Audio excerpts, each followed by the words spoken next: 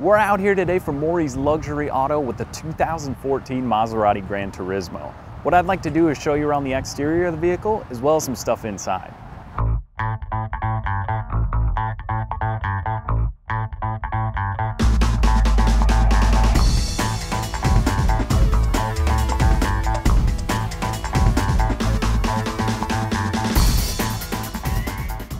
The engine in the 2014 Gran Turismo is a 454 horsepower Ferrari V8.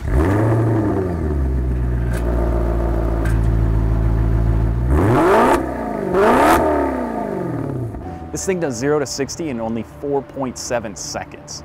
The exhaust note on this car is just unbelievable. You get that low, graspy growl in first and second gear, and then when you really open it up, it just screams like an Italian sports car should.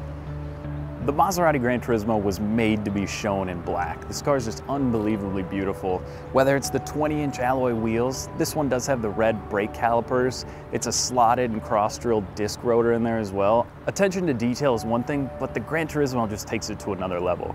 You have Maserati labeled inside of the headlights, the grille. I mean, you are gonna have parking sensors on the front and rear of this car, and those are almost invisible when you're looking at it. You'd never even notice.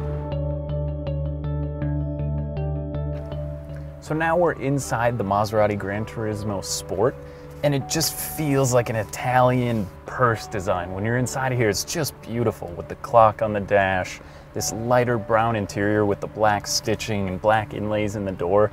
It's just really well designed and put together. Uh, the radio system, it's very simple, hands-on to use, but the most important thing you're gonna need is right here, which is that sport button. That's going to open up a flapper in the exhaust and just give you that incredible sound from the rear of the vehicle.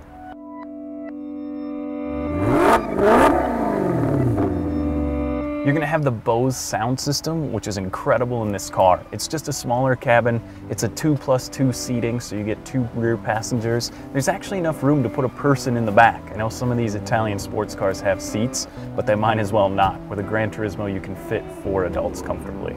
This is the Gran Turismo Sport, where the seats are gonna be a little bit different. Uh, you're gonna have that really kind of racing style design. It's got a nice bolster to it, holds you in place for when you can really get some aggressive driving going. Thanks again for watching our quick outro of the 2014 Maserati Gran Turismo.